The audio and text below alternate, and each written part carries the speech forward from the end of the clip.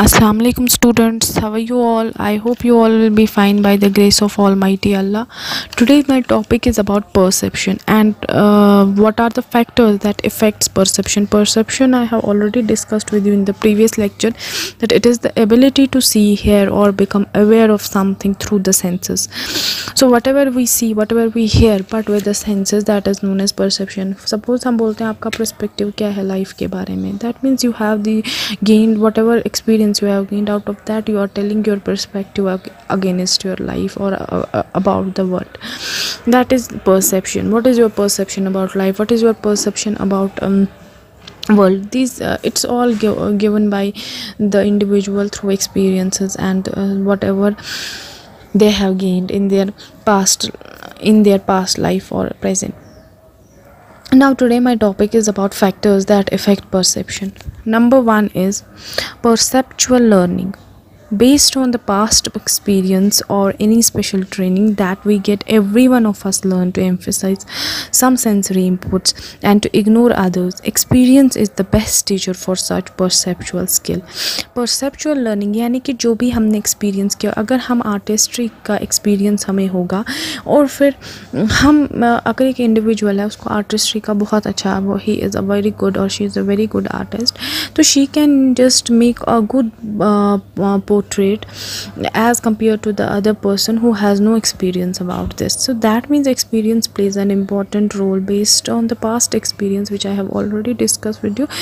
Perceptual learning based on the past experience and special training that we get every one of us learn to emphasize some sensory input and to ignore others. Experience is the best teacher for such perceptual skill this is first uh, factor that affects perception. That means experience and training plays an important role in perception. Mental set another uh, important factor that affects perception is mental set. Set refers to preparedness or readiness of uh, to receive some sensory input. For example if we are expecting the arrival of train अगर हमें पता है कि train आ रही है if are expecting the arrival और बहुत सारा शोर है, लेकिन तब भी हम उस ट्रेन की साउंड या कोई भी आवाज़ सुनेंगे despite of lot of noise और disturbance that means it's mental set we are ready to receive some sensory input अगर हम, हमें कंसंट्रेशन इतनी इतने ज़्यादा शोर में भी हमें कंसंट्रेशन उस चीज़ की ओर है, जिसके लिए हम उस जगह पर या उस चीज़ के लिए जहाँ हम गए हैं। That means mental set is very important factor for perception another is motives and needs are motives and needs will definitely effect our perception definitely it will effect our perception for example a hungry person is motivated to recognize only the food items among other articles. His attention cannot be directed towards other things until his motive is satisfied. That means motive and needs plays an important role and are the important factors that affect our perception अगर कोई भूखा आदमी है भूखा इंसान है उसको हम रखेंगे एक स्टोर में तो फ़र्स्ट ऑफ़ ऑल उसका अटेंशन किसकी ओर जाएगा पहले ही उसका अटेंशन खाने पीने की चीज़ों में जाएगा ताकि उसकी भूख मिट सके His attention cannot be directed towards other things until his motives and needs are not satisfied. Last but not least is cognitive style. People are said to differ in ways they characterize they characteristically process the information. कोई अपनी अपनी जो हर कोई individual है they are different वो different होते हैं and they characteristically process the information whatever their characteristics are they characteristically process their information so it these are the important factors that affect perception and for nurses for professionals these important factors are very important to deal with the patient. And first of all the uh, nurses should have a perceptual learning. They should be based their mm, whenever they deal with the patient their patient they should be experienced they should be trained so that they can get some sensory inputs and to uh, they they should uh, as all of we know that experience is the best teacher. So the person who is dealing with the patient should be experienced. Otherwise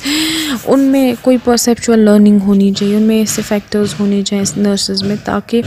वो क्या करें वो the patient से deal अच्छे से करें और उनको एक्सपीरियंस होना चाहिए। दूसरा उनका मेंटल सेट अच्छा होना चाहिए। सेट यानी कि they should be ready to receive some sensory inputs for example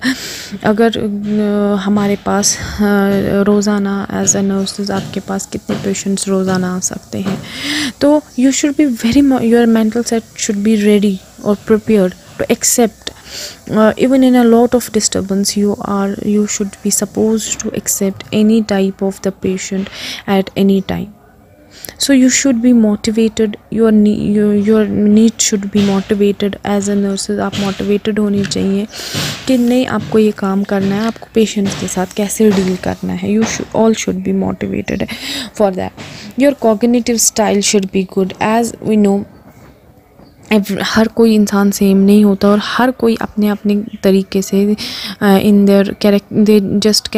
in their way characteristically process the information अपने तरीके से प्रोसेस करते हैं information so we have to deal with the things very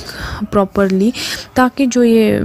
हमारा जो प्रोफेशन है that should work very easily and we should और भी हम जिस प्रोफेशन में होते हैं we should be mentally ready for that कि ये चीज़ में हम जाकर हमारा जो काम है, हम इंजॉय कर सकें, वो काम अच्छे से कर सकें. एज ऑफ़ वी नो जो ये परसेप्शन है on one way to uh, we can say that perception first of all i have already discussed with you it is a latent term which means gathering or receiving it's an act or faculty of perceiving or apprehending by means of senses or mind इसके लिए senses mind का होना ज़रूरी है aap जो mentally fit नहीं होता है, उनमें ये फैक्टर्स काम नहीं, वो ना ही उनमें परसेप्शन होता है, ना ही वो परसेप उनका कोई परसेप्शन होता है रिगार्डिंग एनीथिंग क्योंकि mental setup mental wellbeing is much more important than anything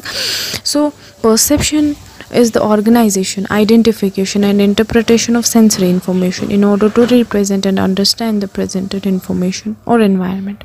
All perception involves signals that go through the nervous system. Signals यानी कि हमें signals आते हैं that go through the nervous system which in turn results from a physical or chemical stimulation of the sensory system यानी कि जब आपको मैं आपको एग्जांपल दूँगी जब आपको मच्छर काटेगा वहीं पे तो you will start scratching your skin कि कहीं जहाँ आपको मच्छर काटेगा नहीं still you will be scratching your skin that is of no use that means you are mentally not feeling well you are just scratching your skin just for no use that means हमारे पास, हमारे sensory जो sensory nervous system है, हमें ये जल्दी information आ जाती है हमारे ब्रेन में जो आपको स्किन में कुछ हुआ है you need to scratch the skin तो that is why I am telling you that perception is just involve signals that go through the nervous system which in turns result जिसकी वजह से केमिकल या physical stimulation होती है of the sensory system. So uh, these were some of the factors for that affects perception. That first was perceptual learning other was mental set third was motives and needs fourth was cognitive style. These were some of the factors that affect perception. With this your perception and attention is completed. I hope you understand it. It was all for today. Thank you so much. If you have any queries please let me know